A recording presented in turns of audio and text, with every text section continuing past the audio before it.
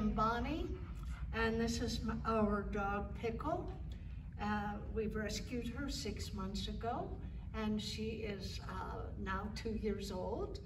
And we brought her here to um, train her better so that she is safe for an older couple like we are. And we're very pleased with all that she has learned. And the teaching has been wonderful. The, all the notes and pictures that were sent every night uh, really showed us exactly what she was doing during this two weeks that we had her. And she can now sit, lay down, walk with us safely, and o- obey us. And she's a dog with lots of energy and love.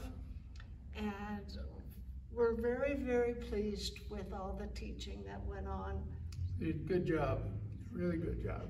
Yes, if I, I'm a former teacher, and it was just exceptionally done, well done.